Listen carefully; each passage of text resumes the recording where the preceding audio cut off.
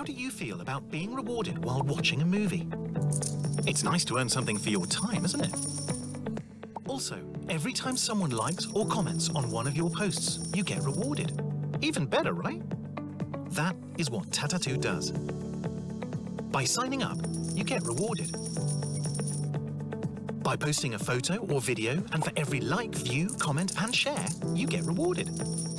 For every friend addition, you even get TTU coins. There is also a movie section to earn rewards while watching content for free. For example, you invite your friend Sarah to join. But not just Sarah, you ask many friends. They get rewarded, and you get rewarded along with them for all their activities. For a lifetime.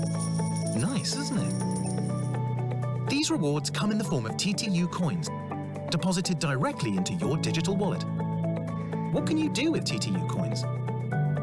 You can spend them in Tatatu's e-commerce, or use them to participate in auctions, where you'll find unique products and experiences, like a visit to a set during filming, a meet and greet with celebrities, or an autograph from your favorite actor. Our goal is to share the value created with our users. For all activity on Tatatu, including watching free movies, posting content, receiving likes, comments, views, and shares, you will be rewarded. Invite your friends, you'll still be rewarded. Tatatu, the platform that gives value to your time.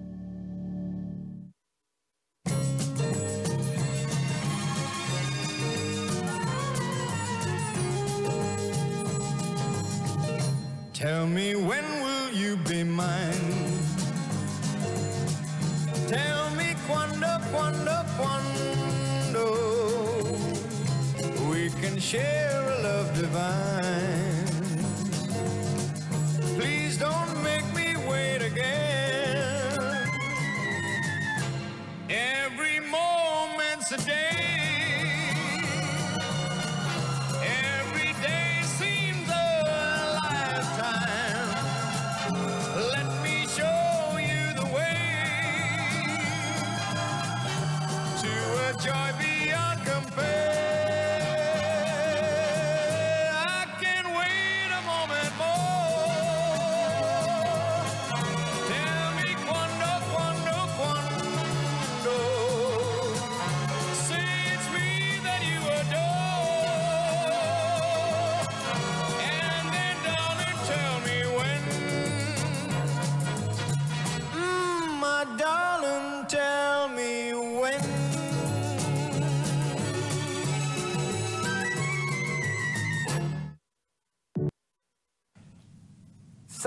tutti, hello everybody. Il maestro Tony Renis, the honorary president of Los Angeles, Italia. Hello, how are you? Love you so much. I'm sorry that I can't be there, but I am there with you with all my heart. I love you so much. Tony Renis, a life in Los Angeles, and uh, I have to tell you something.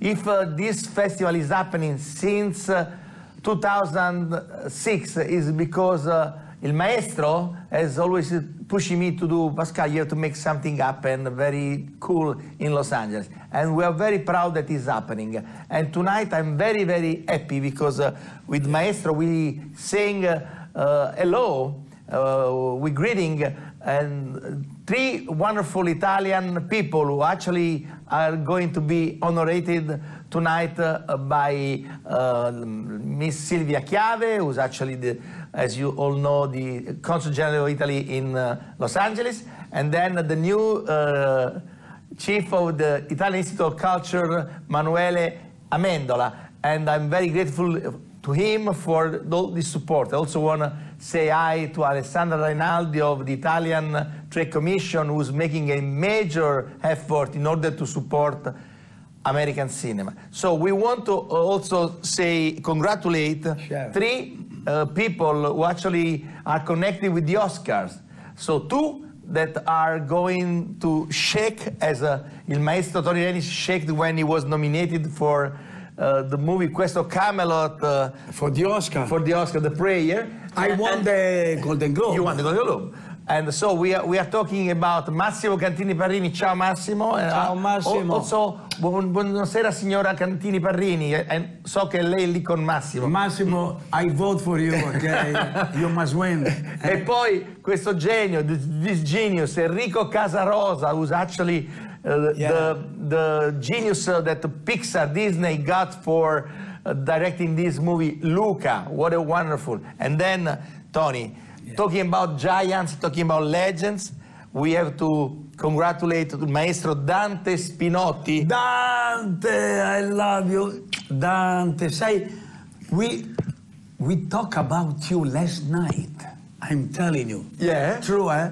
Last night, I had a dinner with my brother, Vittorio Storaro, and I was talking about you, and I was asking him. He said, Vittorio, what do you think? To be honest with me, what do you think about Dante Spinotti? And he told me, he's number one, is the greatest Cinematographer. cinematographer. This Dante Spinotti. Dante, that's the truth. Vittorio, Vittorio Storaro loves you, and we were talking about you last night. And so, Love you. and so uh, then, of course, we have to remind also uh, Paolo Sorrentino. Uh, congratulations to him and uh, cross the finger for Sunday. Yes, so thank you again. We are very, very thankful uh, for making this event happen. I hope that uh, next year we will be back all together in Los Angeles with uh, the Maestro Tony Renis and all of you for another amazing event, Los Angeles, Italia. Ciao. Cosa, ma Pascal, I want to know, cosa, which kind of, of sigla you choose for the our festival? Dimmi quando tu verrai. I dedicate my song, Quando, Quando, Quando, to all of you from the bottom of my heart. Tell me when will you be mine? Tell me quando, quando, quando. Love you so much. Ciao, grazie. Love you. Buonasera a tutti, good evening and uh, benvenuti uh, all'Istituto Italiano di Cultura. Uh, to all of you who are here with us uh, in person, but also a warm welcome uh, to everyone who is joining us online via Zoom. My name is Emanuele Amendola. I'm the director of the Italian Cultural Institute uh, in Los Angeles. And as you have uh, just uh, heard, tonight we are very happy to host uh, one of the closing events uh, of the LA Italia Film Festival, an initiative uh, produced and promoted by Pascal Vicedomini and Istituto Capri nel Mondo. Traditionally, this festival offers a great spotlight on Italian cinema in Los Angeles just uh, a few days before uh, the Academy Awards, with uh, premieres of uh, uh, films, uh, documentaries, and retrospectives. This year, the festival was also online on mymovies.it and eventive.org, expanding its outreach even more. Besides uh, Pascal Vicedomini, I would like to uh, acknowledge the many that participated to LA Italia, including uh, Riccardo Scamarcio e Benedetta Porcaroli, Nick Vallelonga, Robert Davi, Bernard Hiller, Sofia Milos, Nicola Corigliano and Gianluca Gasperini at Intesa San Paolo, Riccardo Di Pasquale at Phoenix Entertainment, and uh, everyone who contributed. Before uh, uh, getting to the heart of uh, uh, this evening's program, as uh, we have been uh, doing with all our events since uh, one month now, I would like to invite you to join me in a moment of reflection upon the tragic events that are unfolding in Ukraine. While we are here celebrating cinema and uh, the fact that we are uh, together again, many are suffering and living extremely dark moments. We can't uh, ignore this and uh, how this is a reminder that uh, uh, peace is something that we should build every day, something that we should never take for granted. We crave for peace.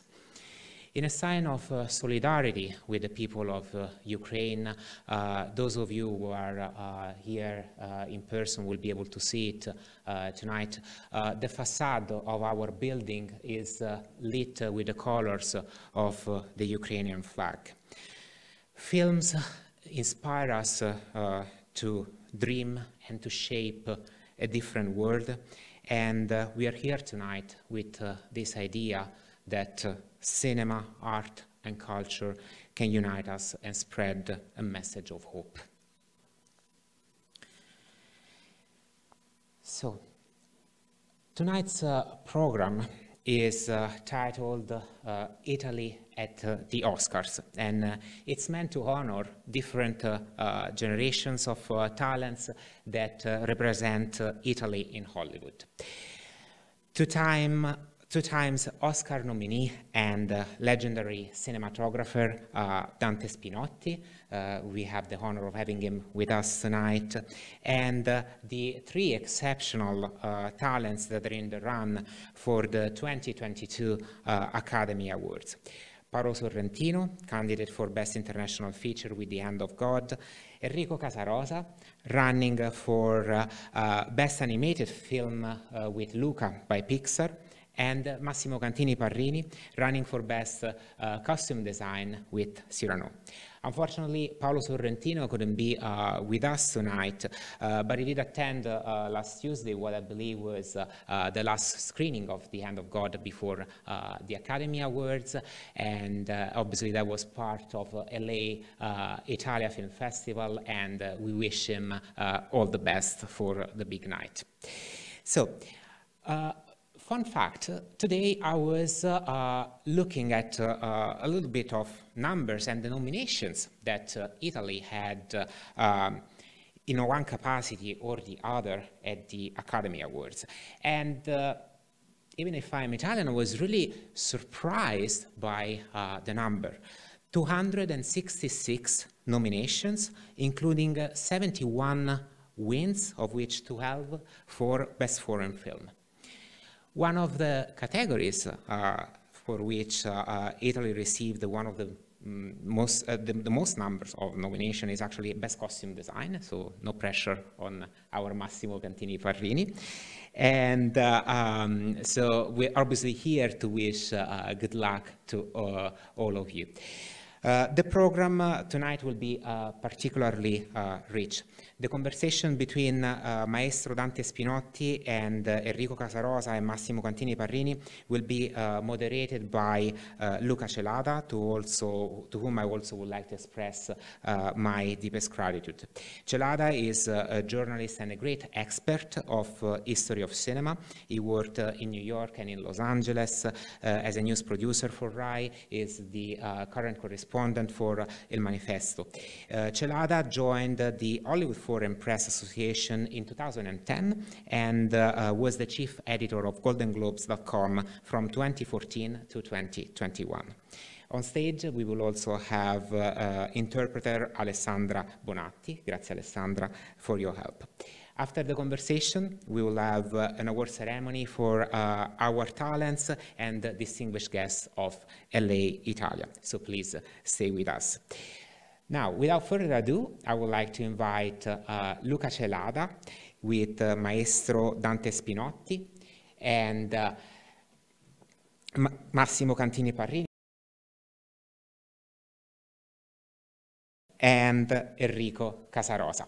Grazie mille. Enjoy the program.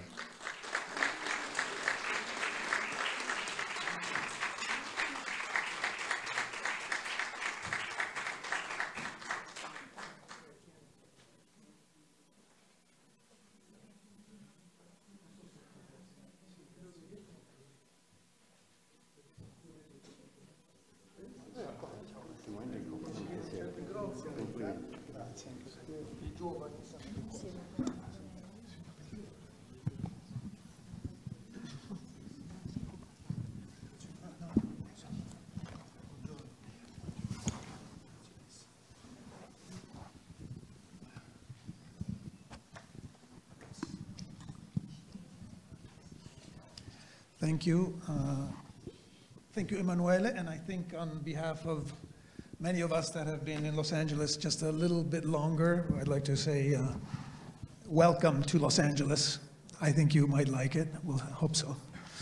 Um, uh, and I also want to thank uh, Consul uh, Chiave uh, for this event. Um, and uh, it's truly an honor to share the stage with this group. Um, first of all, um, everybody on stage here tonight, as well as, of course, Paolo Sorrentino, are twice nominated for the Academy Award. I, I can't think of a better testament to, I think, the quality and the contributions of Italian uh, art and craft of cinema uh, than that uh, fact, uh, as well as the numbers that Emanuele told us uh, just, just now. So welcome, benvenuti. Eh, benvenuto, non ci siamo incontrati, ma giusto in tempo. and uh, complimenti to everybody here. So um, uh, Emanuele introduced uh, everybody. Um, perhaps I can add a couple of things, um, starting from right here, Maestro Dante Spinotti, um, well deserved.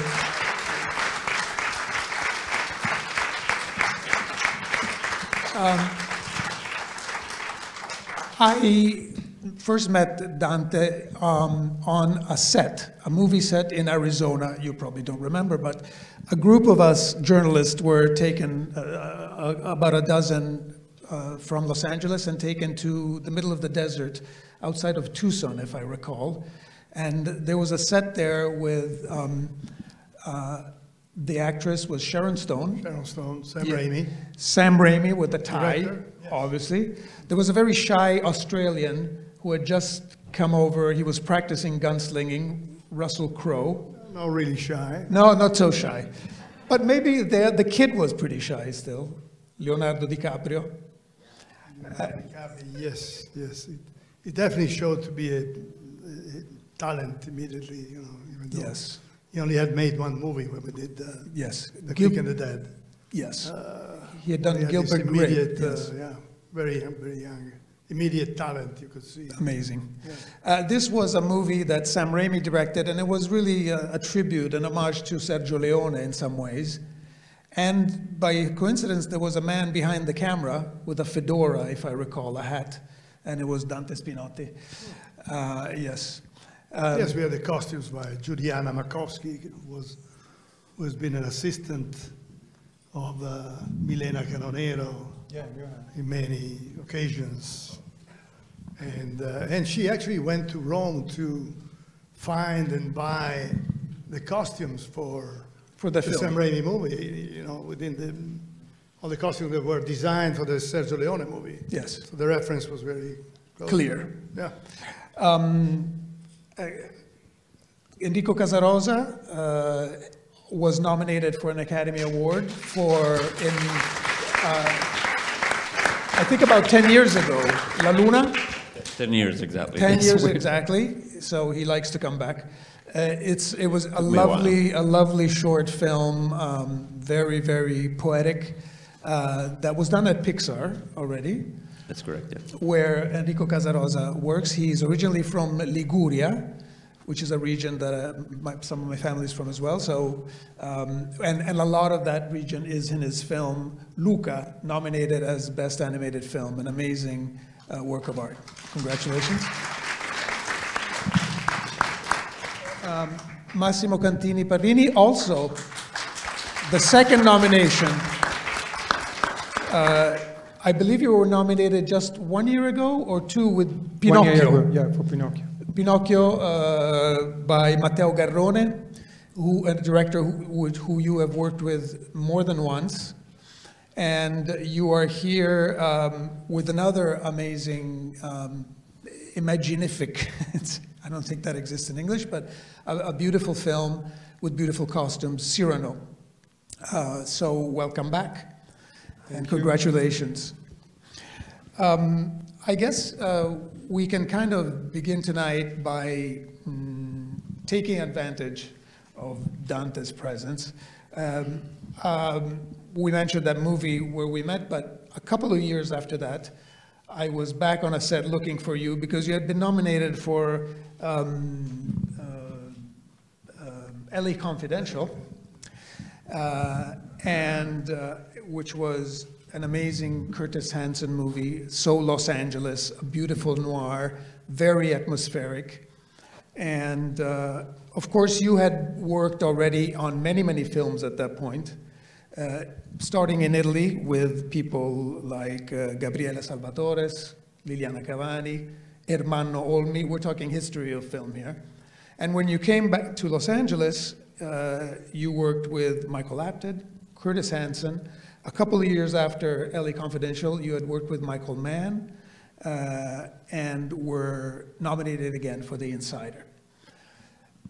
Can I start by asking you, how was the transition from working in Italy to coming here and pretty quickly working with the top directors of Hollywood?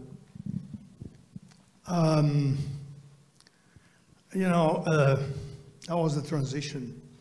Um, that, that, I would say definitely a difficult transition because um, for me, the only, my wife knows very well, my idea was that coming to work in Hollywood was the right idea. I had just left the Italian state television, for which I worked for a long time, and turned into a freelance in Italy, was there for two, three years, and then came here, uh, thanks to Dino De Laurentiis, uh, who had a studio in Carolina, and uh, thanks to his wife also, Marta De Laurentiis, who I'm happy to remember here. She's not longer with us, she passed away. Um, so thanks to Dino, you know, I, I moved to the States and uh, my first movie was a movie Michael Mann. It was very complicated. The transition is very difficult. Why? Because, well, first of all, you risk a little as you do that. Um, but if you have the passion behind you, uh, the risk becomes, you know, uh, the only solution. The transition is difficult because you don't know anybody. So you don't have a crew with you. Uh, you know, you're working with new people. And it takes a little bit of time to, to make yourself known and make yourself. Uh, however, if you trust your talent, which is the only thing really that uh, I could really trust on, you know, my ability to distinguish between shadows and light, you keep going, you endure the difficulties. This is the main thing. Probably my fact of being from Carnia is, is an advantage on this because we are known for being kind of, you know, there's someone here from Friuli or Trieste that I just met. And, and yes, we are known for being sort of uh, hard-headed in a way, and that's what kind of helped a lot, enduring frustrations and difficulties. Wonderful. Uh, and I believe, uh, I believe Michael Mann said you painted with light uh, when I asked him about your work. So um, I think that was high praise from somebody that you called a scientist of cinema. Is that why? What did you mean by that? Um, well, well, the intensity of Michael Mann's work and the study of uh, that Michael does on the uh, on the movie way of communicating. You know, the movie's language is um, is at a very high level. I mean, it takes these studies to to to a kind of a scientific level. Uh, uh, that's why, you know, and, and that's why Michael is. Uh, I consider Michael to be like that, and and. Uh, and he also changes all the time. He renews his way of communicating all the time. The elements of the storytelling, the language of the film uh, becomes new all the time. This is what makes it uh, so interesting. Like Umberto Eco said in his book, uh, The Absent Structure, the, you can't call anything art unless the elements, the signs, the elements of communicating with an audience or with the public are renewed, are new. In this sense, an artist is an artist for whole humanity, right? Because now I don't think we are artists, we filmmakers. Maybe they don't disagree, but I don't think we are, I think we are just very good craftsmen. We have to do with a lot of difficulties, you know, time constraint, uh, money. You need to work at speed. You know, the weather changes and all these kind of things. The mood of people, the crew. But for some kind of miracle, a film can be a work of art because it can be a work of art because it's a, it's a combined effort. It's a- I mean, it's a group operation. This is what, this kind of the magic of cinema is here in making the film. Um, I don't think you can divide films in author films or non-author films, as we used to do very intensely in the 70s. I think you can only say divide films between good movies and not so good movies. I think maybe you're artist engineers. Huh? Walt Disney called them Imagineers. Maybe that's a word. I don't know. But maybe Enrico, speaking of that, somehow now works with in, in a Disney connected studio at Pixar, and I think you spent some time in art school growing up. Uh, you come from Genova, as I said, and tell us a little bit the short version of how how how does the road go from Genova to uh, uh, Emeryville, you know, where Pixar is. Uh, how does that work? A, a lot of small little steps. Um, yeah, it took a long while. I, for me, it started with drawing instead of studying. Probably, I was uh, I love to sketch, so the, the, um, I was in engineering actually for two years. it wasn't going so well, and then I um, decided to really you know change my my goal toward you know illustration and and it, I didn't understand animation at the time, but I just knew I loved comics and I loved stories. Um, so I went to Milan and I started studying illustration. So I, I come from just really j- the drawing side, and then had a feeling that in the U.S. there would be something for me. Just I was interested in animation. Um, I grew up with so many of the cartoons um, on TV. Um, a lot of them were Japanese and for my um, for my generation, strangely. But you know, I, started putting together that you know, oh, this is a drawing that can move. I can actually um, move a character by, by drawing it over and over, and that really fascinated me. So I, I chased my my dreams into New- New York, trying to study, and so that was the big leap. And in many ways, um, the the kid at the end of Luca, spoiler if you haven't seen it, but um, it- it's a lot me getting on a plane. He gets on a train, but it's very much that a moment of um, that most immigrants have probably have dealt with, with both the hope of the future and feeling like you're going towards something hopeful and, and new, and the sadness of having to leave your country, your family, your you know your friends behind. So I, I took that leap and then really slowly um, with a lot of work and I you know I, I, I was studying and working in New York City. I started you know putting my foot in the door in small little TV animation studios worked on a lot of crappy little TV series and then slowly made my way to you know creating a portfolio and really showing your work is how you go forward in animation. And um, and that drawing turned into filmmaking, becoming a storyboard artist. So as a storyboard artist, you were drawing moments and sequences. So for many years, I was just a story artist for other uh, movies. Um, for, for Ice Age, I was one of them, and, and then Ratatouille. And so slowly you, you learn the craft. I, it is a craft. And then you kind of start asking yourself, oh, what kind of stories do I want to tell? What kind of stories do I want to share with the world? And that's how I started making my own comics, and then I made La Luna, which was the short that you know got me to the first nomination. So that's that's a bit the, the road. But um, whenever I talk to young people, th- there's a lot of like, how do I get into Pixar? I was like, well, there were like you know around 25 other steps before it to to take some some leap, leaps of faith. Well, I, I think you ended up in, in the perfect place, as you as your film shows. Obviously, film is produced by Pete Docter, who is one of the uh, handful of main directors up there, and probably the most introspective, I think, you know, with films like Soul and Inside Out. And so I think it must have really worked. Uh, you, you, uh, given how your film is also a coming-of-age film, a very personal film about friendship, about displacement, the belonging. Um, very uh, fantasy, but also very, again, um, has a sense of place, which is so strong. And you were able to close that circle. Uh, I think you premiered this film at the Acquario di Genova, right? Uh, yeah, and, and I have to tell you that I was there a couple of months later, and there were already uh, restaurants in Boccadasse, remember, that were offering spaghetti alla Luca. So, I mean, you know, it's all, it came home. You came home. I didn't know that. That's amazing. yes. Um, let's, uh, I want to ask uh, Massimo then. Um, you are here as um, one of the most uh, consistently awarded uh, categories for Italian designers, costume design. Uh, and I personally am so happy that it was not moved from the main ceremony and is still in its rightful place. Um, and again, you were here just a year ago. So um, this year, I think the ceremony will be bigger and more normal than it was last year.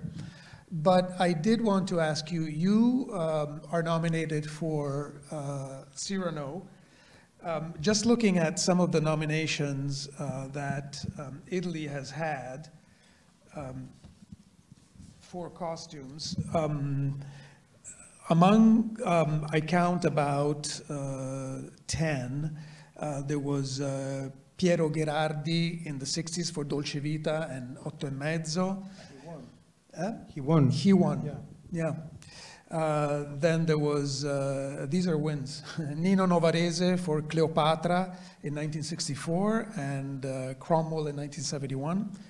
Danilo Donati in 1969 for Romeo and Juliet. And Casanova in 1971. Again, Fellini has been great for costumes. Milena Canonero, Barry Lyndon in 1975, Kubrick uh, Chariots of Fire in 1981, Maria Antoinette in 2006, of course, a master.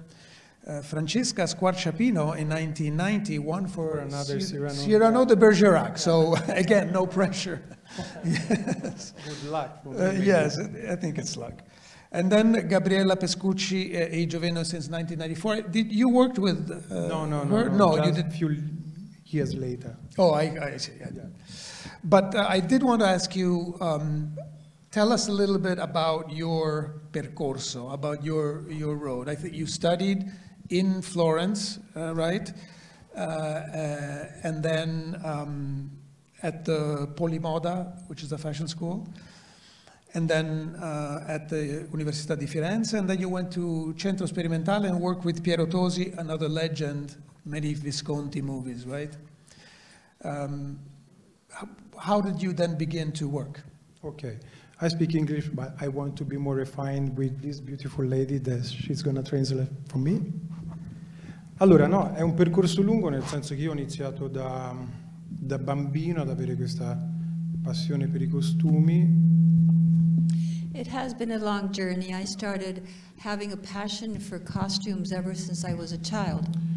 E, mm, ma perché la mia nonna materna lavorava in una sartoria a Firenze e io dei pomeriggi andavo a trovarla e rimanevo affascinato dalle stoffe che vedevo arrotolate in questa stanza enorme e che da bidimensionali poi si trasformavano tridimensionali sul manichino e per un bambino insomma è un po' una magia, no? vedere una cosa che da piatta si trasforma tipo origami in una roba eh, animata.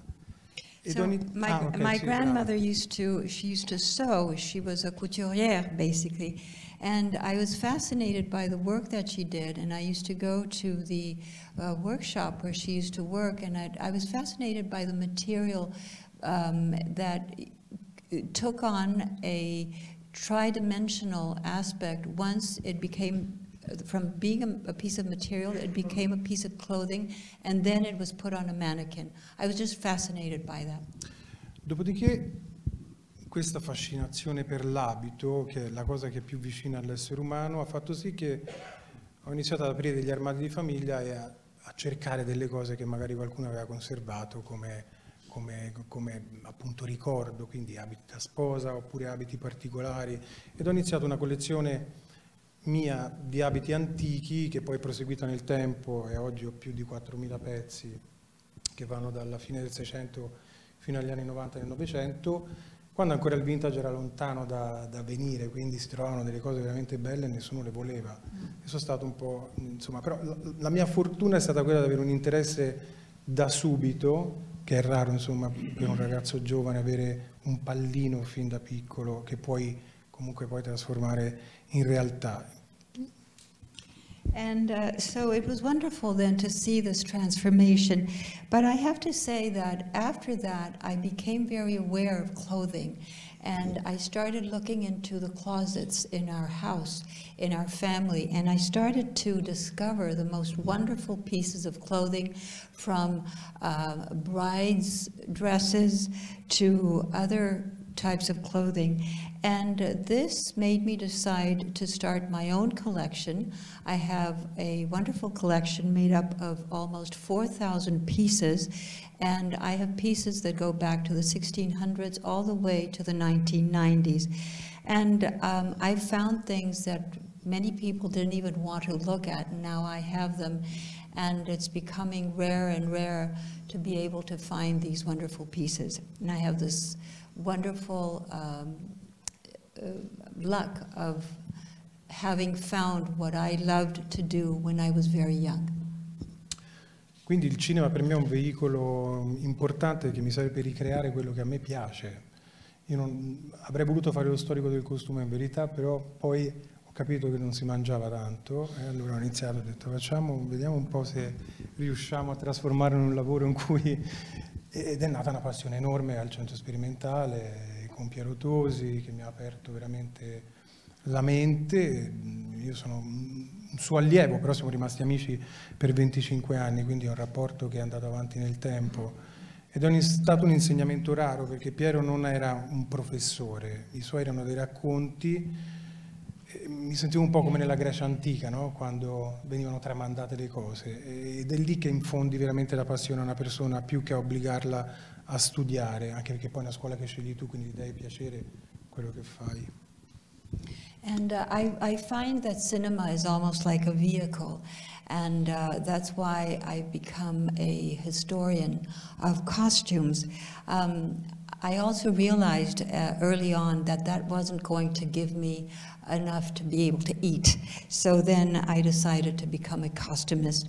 I was also very lucky to have gone to the experimental center with Piero Tosi, who was my great uh, professor. We've we knew each other for about 25 years. I should say, however, that he wasn't really a professor to me. He taught me things that are passed on through the ages like they used to do in ancient Greece. E, e, niente, poi sono qui, non so neanche io perché, nel senso che io ogni volta che faccio qualcosa rinizierei da capo perché non sono mai felice, perché devono togliermi gli abiti da sotto mano perché io continuerei a lavorarci, non so, per mesi, non sono mai contento, mai, mai, mai, mai, mai. Perché è così, è una passione, è una passione come l'amore, nessuno è mai felice fino in fondo, quindi la vivo un po' così. And so here I am, and um, here I am, I'm working hard, I love to work. I, I, that's why, I, I, really don't know why I'm here, actually. Um, all I know is that I love to work. I, I could keep on working nonstop. This is really a passion for me. It's almost like being in love. Um, you never really know how to um, realize what to do with it, but it eventually works out. I guess that passion can be applied to very different projects. Uh, Dogman, does uh, the look of that film certainly does not have much in common with the look of Cyrano. Do you have to change very much uh, from job to job, or is it just different aspects of the same passion for you? No, ogni lavoro naturalmente ha una sua, un suo mondo da rappresentare. Trovo molta difficoltà ad affrontare i film contemporanei, perché la contemporaneità, avendola sempre davanti agli occhi, è difficile tradurla, mentre in un film in costume è già tutto chiuso nel passato e quindi c'è anche meno margine di discussione. Nei film contemporanei poi tutti parlano, cioè non sta zitto nessuno. Cioè, gli attori parlano, cioè, questo mi sta bene, mi sta male, mi fa grassa, il colore non mi piace, cioè tutto un rompimento all'ennesima potenza. Nel costume invece quello è, quello ti metti, cioè, capito? E poi più materia mia, nel senso mi piace di più. Moderno è un po' più fare shopping per gli altri che odio. Per questo uso molto il vintage e cerco un po' di sempre riadattarlo, che è quello un po' anche che ho fatto con Dogman. Um, yes, in, um, I, I, I, would much rather uh, work do, um, in period pieces you, using costumes because each and every job is a world in its own. Um, in modern and contemporary films, what we, we have actors that talk all the time. They're telling you, well, I don't like this. This makes me look uh, too big, too fat, too small, whatever. So um, I'd rather do uh, period pieces. And it's like shopping for others. It's, um, I, am going out there and looking for vintage pieces. I, I rather enjoy that. Grazie mille. Um, Dante, Massimo, I think, was just referring to the collaborative aspect of filmmaking um, uh, in the good and the bad. But I mean, cinematographers must be, uh, I don't know if there's a closer relationship, perhaps editors as well, with the directors uh, as you're making a film. You have worked with a variety of directors, but there's a few that you've worked with, again, over and over. And you've even had the experience, I'm not sure if many have, of uh, doing the same film twice with two different uh, uh, filmmakers, right? Uh, Red Dragon, uh, which you uh, shot two times. Um, give us a sense of how that rapporto, how that relationship um, informs your work. Um, like a colleague of mine said, David working after the movie. Yes, the director also matters when you make a movie. Um, it's, uh, it's definitely a collaborative effort. I mean, uh, it's about, uh, it's about uh, reading, understanding the story. It's also for us about, part of our profession is also to understand what goes on in the head of the director. Um, because if we do understand, then we can change everything. I mean, I can take the director in a different direction, director in different directions, uh, if I do understand what is in his mind, what, what he thinks of doing, because uh, of course, if you don't do a movie with the director, there is no movie. Uh, the relationship director and actors is the fundamental relationship in the whole movie set. So all we do is, uh, is uh, also between uh, our things between the idea, the main idea is to do something which is functional to the storytelling. And of course, the early preparation work with the director is important. Every director has a different way of working. With some directors, we decide what to do with the camera, we suggest.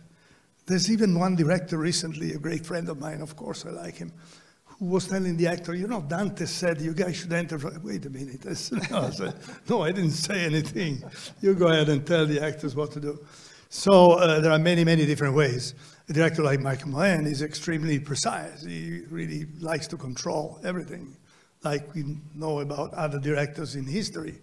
Others take care of the story and they ask you to to deal with the storytelling, with the camera, with the, with the, with the filmic kind of language. The main thing again is great collaboration, meaning, uh, and that has a lot to do also with the at attitude of the director on a movie set. Um, you do see movies in which there's a beautiful um, relationship between the work of the costume designer, which is extremely important, the work with the production designer, the guy who designs the sets, and the light of the camera work of the cameraman and the director when that is achieved, it's, it's, uh, you have the finest, I think, results uh, in terms of uh, a visual and, and a functional storytelling situation. Because ultimately, it's all about telling a story. It's not about doing pretty pictures or being good at lighting and photography. It's about, you know, telling a story that involves the audience and uh, makes the audience forget that they are looking at a movie screen. Or, but they fall inside the story. Functionality. Uh, Enrico, I, I, think a lot of people don't realize that even in your uh, world of virtual sets, uh, how much all this still applies. Uh, you have a lighting director, you have production design. Um, do you feel that uh, it's that it's very, very similar to live action filmmaking? And do you agree with Dante that it's really story is, is what counts? Yeah, for sure. It, I, there, the basic difference, um, of course, in this kind of virtual world is actually, for example, Dante, you know, a, a DP, it's split in two persons in our world. Which, There's a camera DP and there's a lighting DP. And that happens because when we're choosing the shots, um, we don't know the lighting yet. Some, that the lighting kind of happens last for us because we're, we're actually, someone has to really fine tune after we've finished the full shot, you know. So in a strange way, animation takes things that would happen all at once in, in, in, a shot in live action and splits them up in different moments because someone has to animate it, someone has to um, light it and finish it. But the considerations that we have with those two, two persons, for example, that, that talent is very much the same. You, you, you come together and it's like, okay, how do we, support the whole movie. You, you talk a lot about macro thoughts and emotion. I think usually we really talk a lot about the emotion of a moment or the, the, the overall arc of a movie. And it, it's so lovely to then have that collaboration because people are really coming um, in, in offering ways to heighten the things you're chasing as a storyteller. So that moment it's going to be more dramatic because we're going to do this. And and um, and how do we flow uh, through the whole movie? So um, wonderfully collaborative. Um, I'm very much a person who coming from um, you know we, we have story teams of people who are trying to figure out how to make the story better how to tell the whole sequence and we're very much about brainstorming and so it's really a room that actually values um, here's what I think as a director, but, but we can probably make it better. Let's talk about it for, for an hour. Can we top this? Here's what I need from a moment, but how do we make it even better? And I find that you get to that third thing that, first of all, you surprise yourself because you, there, there might be ideas that you didn't think of, that they're unique because they come out of half an idea from one person and half an idea from the other. And, um, and again, I think surprise play makes making these movies actually more fun. Um, they're they're very hard to make. There's a lot of opinions, and you, you know you're kind of the, guy who has to say no a lot to to some ideas, right? But I do feel that it's important to to guide and start getting people to understand what you want and what you're looking for, so that then the collaboration can work positively. Um, but yet, it, it, in the strange world, the, work, the work of animation, it's all a little virtual set, virtual puppets, virtual um, moments. But I, I, like how that can heighten certain things, you know, and, and really can allow us to push things very far. Yes. Uh, Pixar is a very amazing place. Uh, they do a lot of feedback, you know, when the, they're at the storyboard stage, right?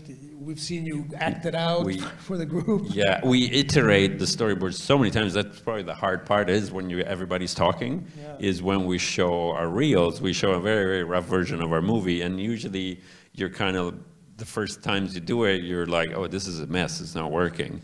Um, what works? Well, let's keep 20% of it and rewrite 80%. And truthfully, we do need that iteration. I think in many ways, we we are able to really kind of fine tune the story a little bit more. There's a there's a lot of time involved and a lot of time dedicated to it, and I think that's why Pixar is batting average is so high. There's just a real dedication to it's not good enough yet. We're going to do another rewrite. in, in live action, that usually happens on a script. Yeah. We do it in storyboard, so we do it in visuals, and. Um, and again, so it, it's it's certainly um, I think what you're referring to is like the actors are all separate. We record them all separately, so there's not a whole. There's not the like oh the star wants X or Y. It's that's a little less of a problem for us when we're making it. We're making a, a little bit, yeah. but then you know you have an animator and a voice, so the actor is split in two now. There's uh, so, but again, it does usually bring a lot of wonderful ideas because the animators, even after we thought in storyboards all these ideas, the animator will come out and say, there, there's this silly little scene in our uh, movie where Luca falls on the ground uh, and he's out of it. And you, I wanted it to be painful, and then we drew something that looked painful. And then he put a little fish. He, he stole the fish from another scene that it's a fantastical scene where fish are uh, stars, and he put it around his head like little birds, you know. And uh, that's a, such a wonderful surprise. At first, you see it, and you're surprised. You're like, wow I hadn't thought about that. And then you're, you're like, yeah, let's do it. This is great. It's silly, it's strange, it breaks a little bit the logic. Those are the wonderful things that are added, even all the way to, you know, animation. Um, congratulations again. It, it's, uh, uh, it really works. um,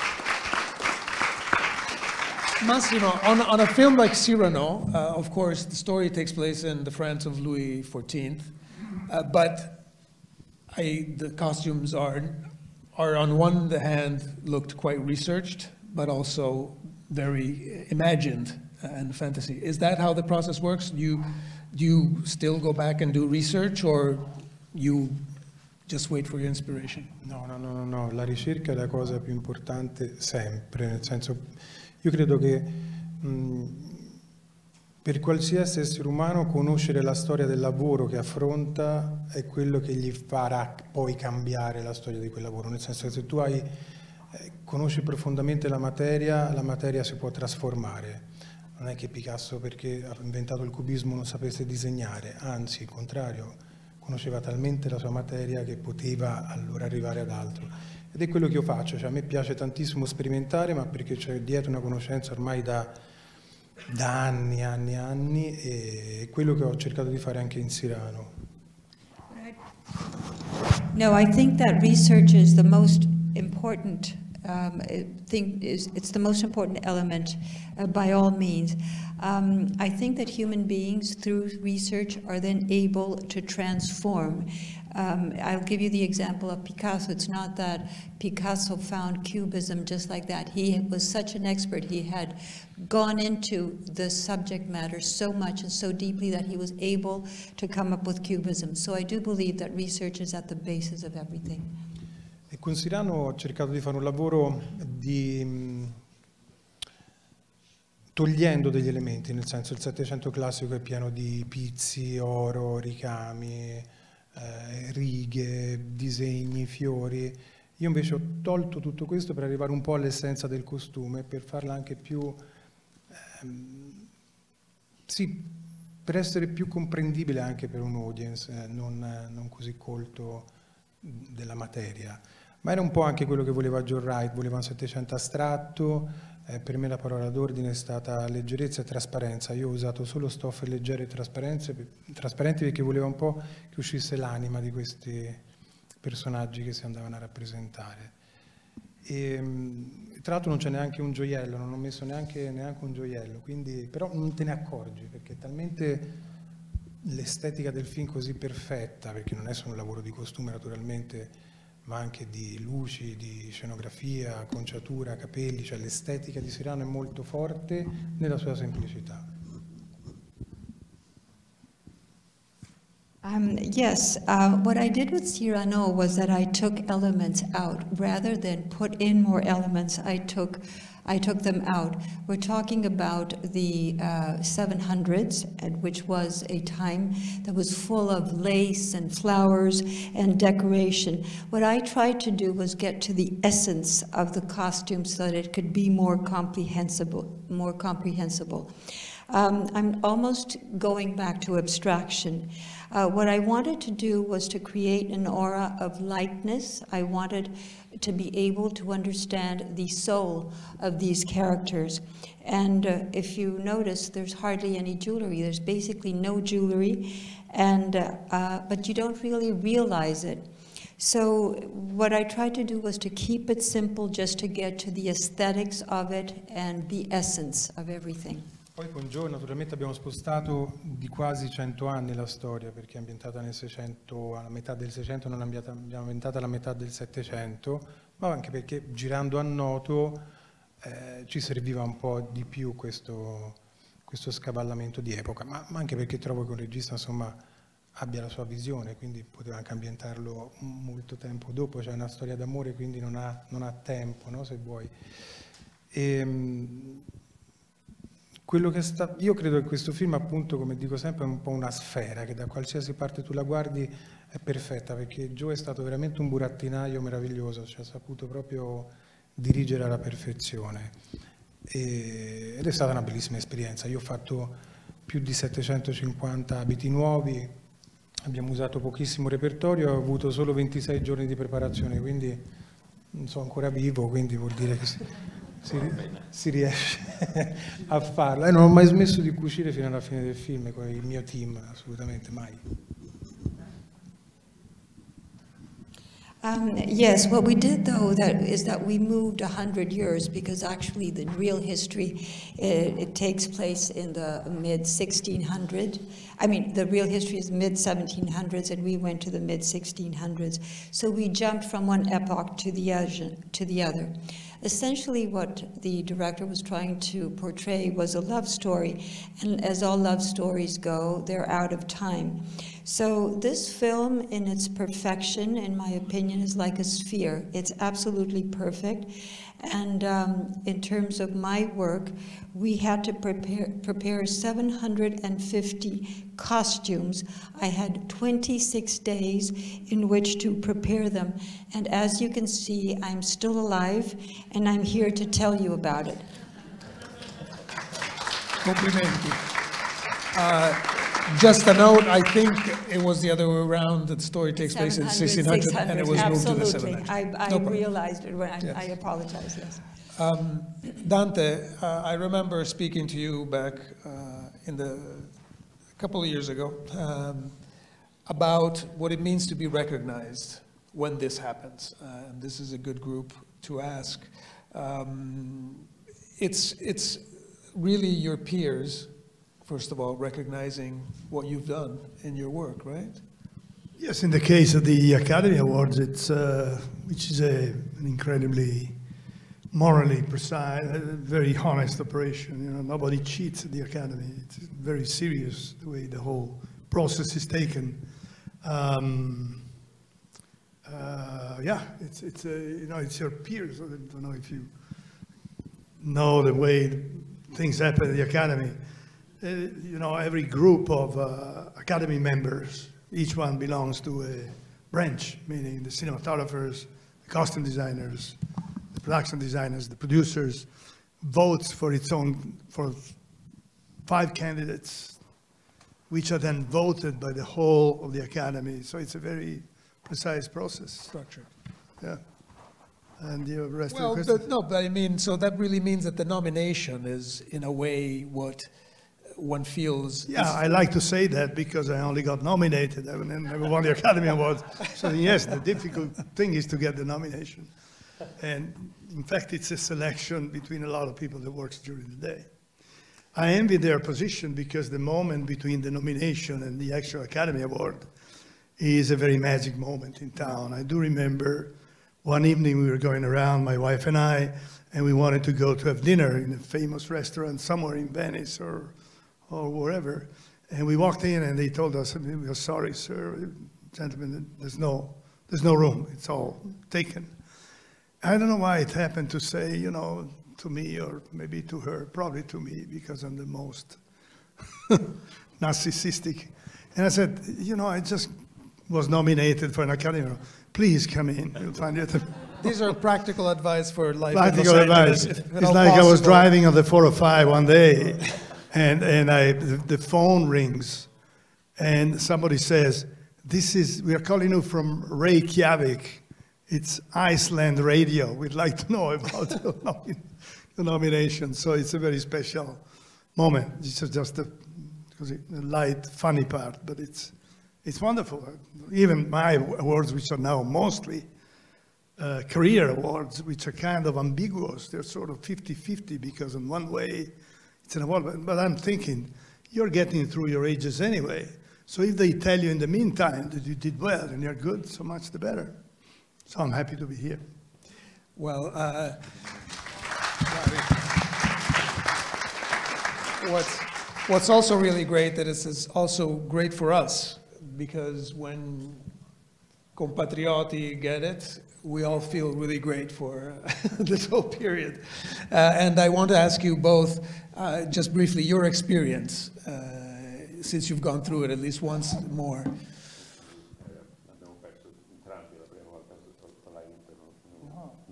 Allora sì, la, la, prima volta è uguale. Ma è più chic. The first. Più chic perdere che vincere. Ecco. I like that. It's chic. It's, it's chic much to, more to chic lose. to lose than to win. Yeah. Um, yeah, I, I think it's a wonderful, to be completely honest, roller coaster of emotions that that um, you feel lucky, you feel um, that, that, when you lose, you feel bad that you feel bad that you shouldn't feel bad. Uh, um, so it's it's an interesting challenge with it, but um, you're they right. Don't win. Yes, I'm using the wrong words, right? Um, but I feel. right. I, I mean, I, I, it really made me, 10 years ago at least, really think about what, what matters. And, and it goes back to really the people watching our movies, the people feeling the emotions of our movies. And so as wonderful as the Academy is, I think it doesn't quite reach that, the height for me that is when you hear people have been, uh, I cried at the end of your movie. You, or you made me feel like I was back in Italy and I haven't been back there for 40 years. Um, I think those things are the ones that really keep, I, I, keep close to the heart and really fuel me to tell more stories. Um, and uh, together with that, right, like I, I feel like you have to pinch yourself when you think about, when I think about myself really, um, leaving Italy and, and thinking that, the, you know, if I told that kid leaving Italy, you know, 30 years ago, that this would happen, they would think it's absolutely crazy. So um, you have to really enjoy the moment and, you know, whichever way it goes. Allora, io mm, credo che i premi siano naturalmente una bellissima esperienza, ma mh, mm, non sono mai un punto di arrivo, ma sempre un punto di partenza soprattutto perché ti si accende un faro un po' sopra, che tu lo vinca, che tu lo perda, soprattutto i premi così importanti, per cui a, a, ai prossimi lavori si aspettano e chissà quale miracolo fai. Invece il miracolo viene fatto da una sceneggiatura, io leggo e vesto i personaggi di quella sceneggiatura, quindi eh, è importante vedere i riconoscimenti, ma non ho mai lavorato per questi obiettivi, eh, se vengono naturalmente è una cosa meravigliosa, però avendo appunto questa passione infinita non, non ho mai rincorso mh, questo genere di cose, però appunto sono onorato tra l'altro quando ti guardano dall'altra parte dell'oceano è una cosa veramente importante e quindi il faro mo è diventato un po' più grosso dall'anno scorso. Um, well, um, I, I know that prizes are wonderful. There's something quite wonderful, but that's not the point of arrival. They're the point that you start from. And I think that it's a light that goes on because it's you're under the lights. It's an important prize. And at that point, after you have won a number of times, people start expecting miracles from you. But it doesn't come from you solely. It comes from the screenplay, it comes from the script, it comes from the collective work. So I personally don't work to win the prize. Um, I work because I have this infinite passion that just pushes me on. And um, again, I don't work for the prize, but I am very honored to have been uh, recognized and given this prize. Um, and it's important to be seen on the other side of the world as well.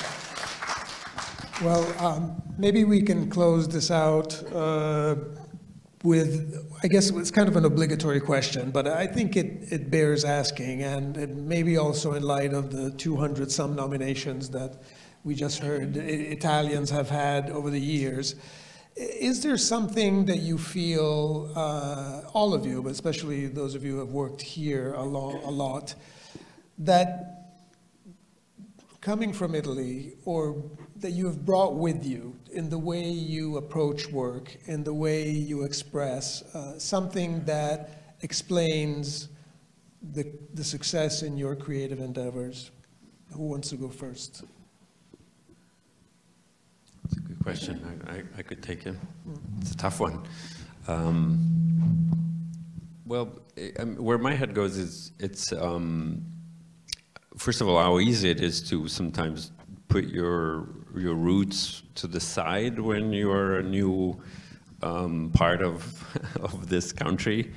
And um, I know I went through a bit of a sense of like wanting to fit in, and um, I'm gonna order my Starbucks coffee or whatever. uh, which I always thought they should take the passport away, the Italian passport away after after that. But it's now allowed. It's, okay. it's now allowed. But um, so I just think a willingness to to really show all of yourself, which as an immigrant, it's actually a wonderful thing to do because sometimes we don't. Um, that's something I certainly brought with me, and and just that willingness um, to tell stories that are personal and, and go deep. I don't know if, you know, of course, it's not only of Italy, um, but it makes you look at what, what, what made me, you know, for, for example, for me was my very specific friendship with my best friend. Um, I don't know if it, it, could only happen there, but it certainly could only happen in Liguria the way it was because we were jumping off the rocks every summer. We were, we, there was all this wonderful specificity to how we grew up that I think we have inside. I have that sea inside, for example. Um, I, you know, Mare Ligure, the, the, the, Ligurian sea, the water, that blue aqua, uh, you can tell that's how I, what, what I wear usually in the blues. So I, I think that's a bit like, you, you bring Italy inside in so many ways, but the, the, you know, this was all for me about telling a movie where I was trying to get it on the screen. So um, hopefully it shows. But um, it's, a, it's an interesting, tough question. It's really what is Italian in us, but yes. yeah. I think that's a good, good answer. La mo- I mean, vivo in Italia. Sì, no, è vero. Però per esempio i costumi, uh, the, the costumes and, and, and the success we've seen the tradition in Italian costume. Uh, does that go hand in hand, for instance, with the tradition in, in fashion uh, in Italy? Uh, and clearly it's much appreciated by, by many directors and, and many Academy voters. No, è vero, è vero. Ancora la, il, il, Made in Italy per quanto riguarda appunto il lavoro di, di, di, di moda e costume è, è forte, ma per, è sempre stato così. L'industria del tessile fin dal Medioevo in Italia è stata una cosa eh, enorme, quindi una tradizione che veramente nasce da tantissimi, tantissimi secoli prima. E, soprattutto in Toscana, perché i più grandi costumisti so, sono tutti toscani, Gherardi, Pierotosi, Cecchi, La Pescucci, Anna Anni, ma ce ne sono tantissimi, perché in Toscana nasce mh, già dalla metà dell'Ottocento la cultura della lirica con delle sartorie famosissime che poi iniziano con i film muti. E, e, questo fa sì che appunto sia una tradizione veramente grossa dell'Italia e, e, quando lavoriamo in America è, veramente veniamo apprezzati per, per, per tutto quello che è fatto a mano e per tutta la cultura della storia del costume che abbiamo. Um, it's, it's true. Um, the label made in Italy is, in terms of fashion, is still very strong and very important. And let's not forget that the textile industry in Italy goes back to the Middle Ages. And particularly in Tuscany, we had a very strong textile industry. All of the uh, costume designers are who knows why, mostly Tuscan, such as Tosi, uh, Cecchi, Pescucci, Gherardi, and so on.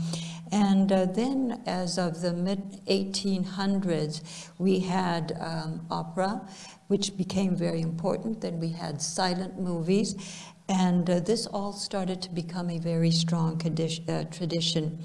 And now that we work in the United States, uh, the handmade, these handmade items have become increasingly important. There's a real appreciation for them.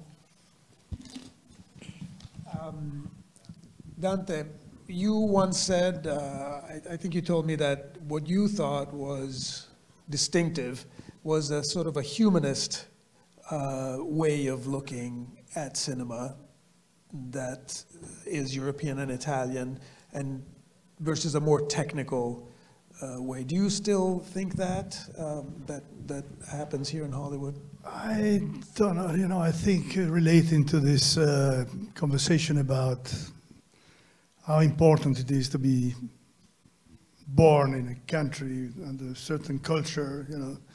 I think it more has to do with the great seasons of cinema in many different nations, meaning the influence that on us had the, uh, the great season of Italian cinema in, you know, after the war, uh, in the 70s, whatever, with the Fellinis, with the Antonioni, um, um, Visconti, and what they meant and brought to all the crafts of filmmaking uh, is what really matters. Not so much, not so much uh, where you come from.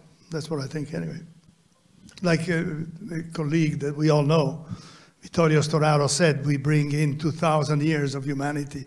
Now, I think that's a little bit exaggerated, you know, in many ways. but anyway, whatever you can put in your mind that is knowledge and uh, going to see art and uh, uh, being interested in humanism, it all makes you capable in, in, in, then later when you are in a movie set and you have to take a decision. What do I do this? Do I do this blue or do I do this green? Is this going to be dark or light? If you have that kind of information, uh, then you have an answer. Can I ask you what you're working on now, if anything? Um, um, I'm working on a, thanks Naples, to, on a documentary on Napoli, on Naples, uh, with my very good friend, director Trudy Styler, who's a producer and director. And uh, I worked for one month there. Naples is, you know, I knew Naples uh, from way back when I was in the military service. Um, and I also did a very important film in Naples. So whenever in Naples I said, you know, I, the guy who photographed the film, everybody was uh, enthusiastic because I did a movie called Così parlò Bellavista with Luciano De Crescenzo, which is very well known in Napoli.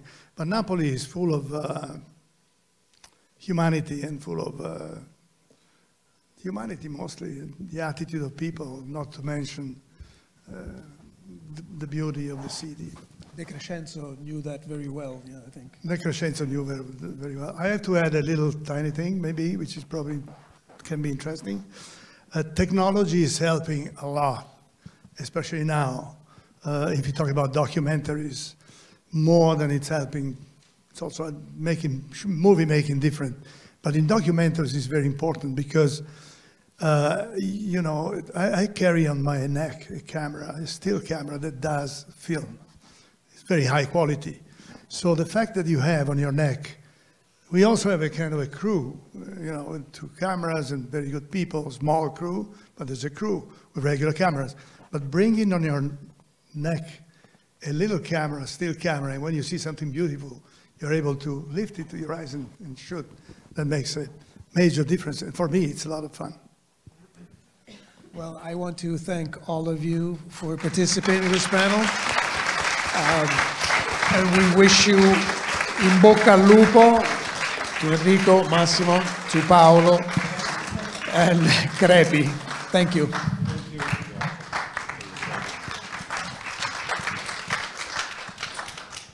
Thank you so much, Luca, for brilliantly moderating the conversation. Please stay with us for a moment because now I would like to invite uh, uh, to the podium for uh, closing remarks uh, the Consul General of Italy in Los Angeles, Silvia Chiave. Thank you. Is this working? Yes. So thank you, thank you, Luca. Grazie, thank you to our guests for their insights. We've seen it, we've heard it. Italian Italians have always played a very important role in Hollywood, uh, and that since the times when thousands of Italians came, immigrated from Rhode Island mainly, that coincided with the birth of the motion picture industry. Actually, while Italian at that time, they bared on their shoulders the, the weight, the shame to be Italians, but their traditions in craftsmanship at that time and their skills and sophistication uh, was, were already highly demanded in Hollywood sets where they started working as masons, designers, musicians, tailors, also uh, but also as directors and actors. But while everybody uh, knows uh, Rodolfo Valentino, Frank Capra, Tina Modotti, uh, all born in Italy, let's remember, less is known about persons, maybe you all know it in this environment, but worldwide uh, about Sicilian-born Pietro Mole, for example, who invented new kinds of studio lights, or Victor Venticinque, who worked as a musician. So in the following decades, uh, Italians and Italians uh, and Italian Americans became Italian Americans uh, greatly contributed also behind the scenes to redefine and perfect the narrative of Hollywood and its aesthetics as well, uh, as well exemplified by our guests here, but also by uh, other, other Italians, uh, Academy Award winners and nominees like Piero Scalia, Dante Ferretti, uh, Francesca Lo Schiavo, Milena Canonero that was mentioned, and all of these, all of you, all of these uh, artists or workers, I don't know what word to use, I like in Italian maestranze, but I wouldn't know how to translate it, uh, contributed to, uh, as, as, as somebody said, as uh, um, Massimo said, to take the soul out of character, designing characters, and to build the magic of the, the, of the final product of a film, as Maestro Spinotti said. So this, with this tradition of craftsmanship, with the golden era of our cinema, uh, eventually Italy counted a lot of nominations, a lot of Oscars, and we're very proud uh, of you for uh, taking us to this, to this result.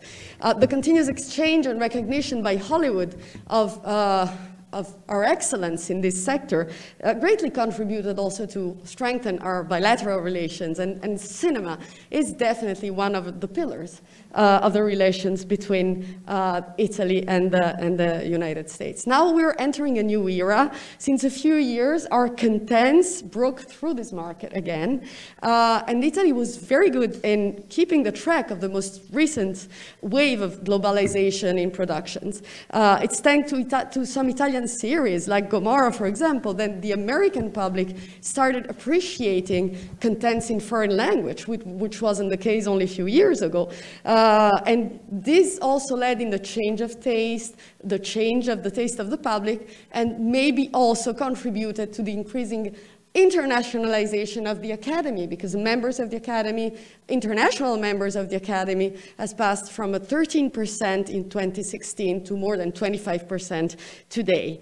Uh, so uh, on the other hand, there's also another phenomena. Italy has been always been uh, an appealing destination for shooting, but today there's a, a, great boom of productions that are shot in Italy. As I already mentioned uh, in, other, in other occasions, um, uh, Ted uh, Sarandos, Netflix CEO, told me a few months ago, if you need an Italian atmosphere, you can't build it up. You have to go and shoot in Italy. There's nothing that can replace Italy. So what is so special about Italy, about about you, about what we do. It's what's, what's been said that our contents and our territories are uh, incredibly authentic and of high quality. I think authenticity and quality can be resumed. Authenticity, like Enrico said, you know, uh, he tells stories that are true, that are personal, that are authentic, that project the real uh, that is in Italy, and that is very much appreciated. Uh, Massimo talked about the traditions of our history, of the textile, that's quality, sophistication, and Italy, whatever is Italian, is synonym of all of this quali quality and, and sophistication, but also tradition and innovation that go together hand by hand. And that's our great, great uh, point of strength. So uh, our guests we have today, uh, Dante Spinotti, Massimo Cantini Parrini, Enrico Casarosa, uh, definitely deserve to be uh, awarded tonight as our best uh, talents for their passion and dedication that clearly emerged in this meeting. So thank you for being here with us tonight. And uh, especially, and this is true, especially for Massimo and Enrico, che questi premi siano di buon auspicio. So, thank you.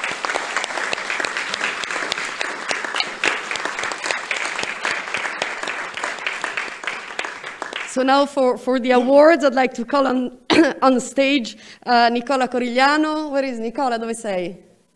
Eccolo, Nicola Corigliano, coordinator of the desk media and audiovisual at Banca Intesa, uh, and special partner of this festival, to say a few words, and then to award our guests on behalf of the festival and of our friend Pascal Vicedomini. Thank you. Thank you, Thank you, Nicola. The floor is yours. And uh, it's difficult to about uh, your effort and, that is, uh, and them. Uh, my English is like Pascal, so uh, excuse me. I try to speak English because I'm studying. I want to try to speak. And um, and um, uh, yes, this week is uh, wonderful because we are the boring part of cinema. No, we, we I haven't uh, a story to tell. No, we stay back and we we we work for to build uh, uh, the big uh, movies like Cyrano that we supported with MGM, but a lot of movie from the studios, American studios. In this week, um, we, we, I met a lot of uh, um, uh, studios and producer, independent producer, and it's true.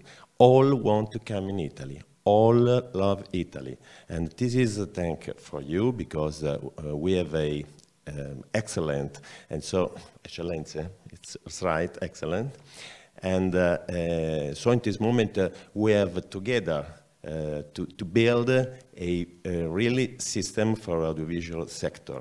And a lot of them told me that now in Italy they need more workers qualified. And so I hope that you can uh, uh, be a teach and driver for a new uh, workers because we can do a lot of movie now in Italy. And Intesa San Paolo love this sector. I, my job is wonderful and we are ready to support this sector in the next year because we are sure that uh, increase uh, a lot in Italy. Sorry for my English and okay. and Silvia, you don't forget me, but when I speak with all the producers, I speak English because I know all the financial words. When I speak so, it's more difficult for me. Procediamo allora con i premi. Silvia?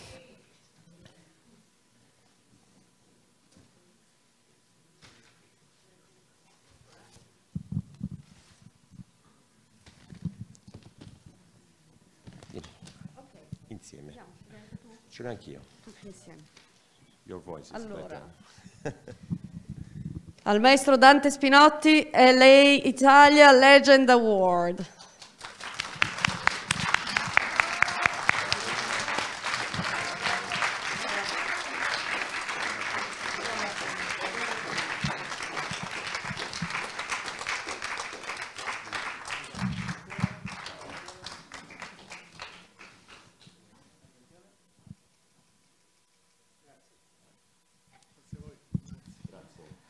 A Massimo Cantini Parrini, LA Italia Excellence Award.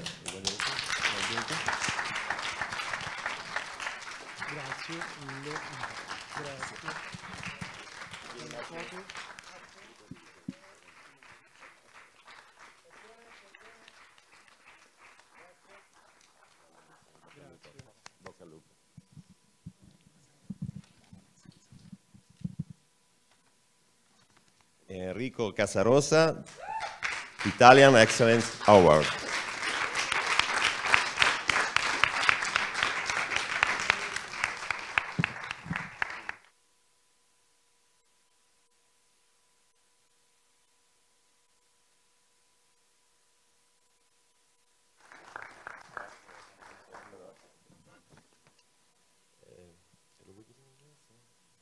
Dovremmo anche eh, citare, eh, purtroppo oggi non sono qui con noi, eh, la Francesca Verdini, che con la sua Casa Rossa ha prodotto il film Ghiaccio di Fabrizio Moro e Alessio De Leonardis. Purtroppo non sono qui con noi, ma provvederemo noi poi a fargli avere questo bel premio.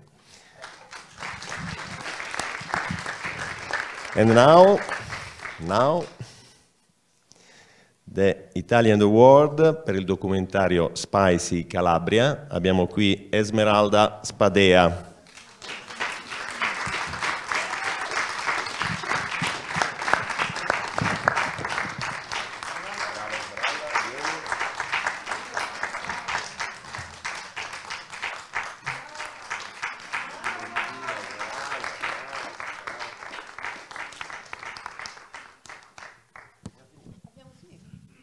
We're finished.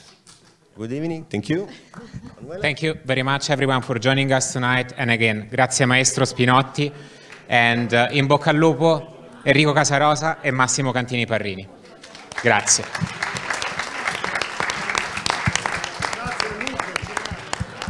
And thank you to Luca Celato, of course.